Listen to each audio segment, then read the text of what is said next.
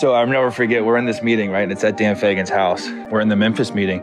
And I see like where Stack's sitting, Fagan's getting like red and like kind of getting weird. And then like five minutes later, he asks, he's like, hey, let's take a break and like, well, we'll meet back up in five. He's like, CP, come here. You're going to Memphis. Portland is going to give you a physical, and because of like Greg Oden and Brandon Roy's injury history, you might not pass. If you do that and they red flag you, bro, you're taking a minimum deal and you're smoked out of 95 million. I go back in there, bro, and I Oscar performance going back. Oscar, I go back in there. Listen, guys, I've, I've never I've never been more sure of something in my life. Sold it. Grit and grind to the day I die. I'm like, I'm in. I'm gonna get that shit tatted. I was like, we can just stop it here. I'm signing.